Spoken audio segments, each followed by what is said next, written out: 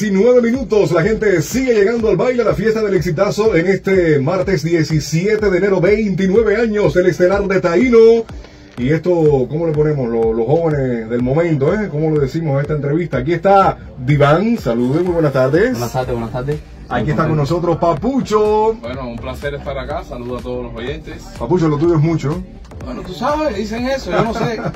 y Etiel Failde. Buenas tardes, felicidades. Qué bueno, qué bueno tenerles aquí para conversar un ratico eh, sobre el exitazo, cómo lo sienten ustedes, cómo ha sido la relación de sus carreras, ustedes como oyentes también con este programa, 29 años se dice rápido. ¿Qué edad tú tienes, Papucho? 24. ¿Tú, Failde? 31. ¿Tú, Iván? 27. 27. O sea que está más o menos en la zona del exitazo ahí. A ver, ¿quién empieza? ¿Quién me comenta? Digan lo que quieran. A ver, eh, yo simplemente puedo decir muchas gracias siempre por el apoyo a la música, a la cultura. Y además también, siempre desde pequeño seguía mucho el programa, es uno de los programas con más demanda en, la, en, la, en, el pueblo y hasta internacionalmente. A la misma vez he visto crecer muchos proyectos desde cero. En el caso mío, yo una de mis primeras entrevistas fue aquí y tuvo mucho éxito, me recuerdo, entonces nada, quiero, aparte de felicitarlos, agradecerles también toda la labor durante todos estos 29 años, ¿qué les puedo decir? Bueno, me has dicho bastante. Vivan, en tu caso, como representante también de la música urbana. Bueno, primero que todo, eh, muchas felicidades al programa. Y segundo, eh, siempre agradecer el, el, espacio que siempre nos brindan a, a los nuevos talentos y principalmente a, a, la música que hacemos, la música urbana, que en algún momento siempre estuvo teniendo sus trabas y ahora gracias a Dios ya la cosa está fluyendo y siempre ha sido uno de los programas que nos ha apoyado al principio. Muy agradecido. ¿verdad? Y en tu caso, Failde, que vas del danzón a la timba y un poco más, ¿cómo sientes tú este programa? ¿Cómo ha sido tu relación personal con este equipo, con este sonido? Bueno, agradecido no se pone la música urbana o la llamada música urbana o la música popular bailable, también se pone música tradicional cubana. Al final es música cubana por donde tú la mires, ¿no?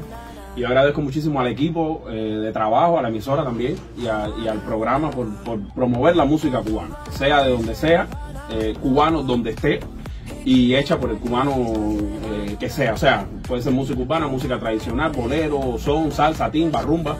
En el exitazo se puede escuchar todo tipo de música.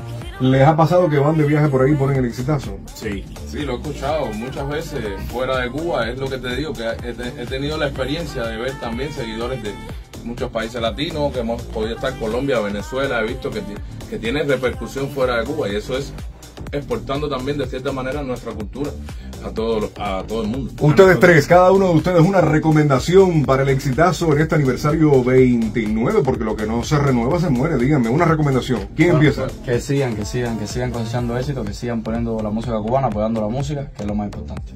Sí, yo bueno pienso que quitar el cliché como bueno, como dice Etiel, de que música cubana es todo y seguir, seguir dándole fuerza a toda la cultura, sea la el, el movimiento que sea, rítmico, musical, que sigan con ese estilo y con que los caracteriza de siempre. Fainde. A mí me gustaría todo eso y además añadirle, en el caso de lo tecnológico, que salieran en vivo también con una camarita aquí en la... Por streaming. Sí, por una camarita, como se hace en el mundo. Díganlo ahora que está el director escuchando Por el eso programa. estoy aprovechando una camarita ahí, la gente que pueda ver la radio desde adentro y sus La gozadera que se arma en esta cabina.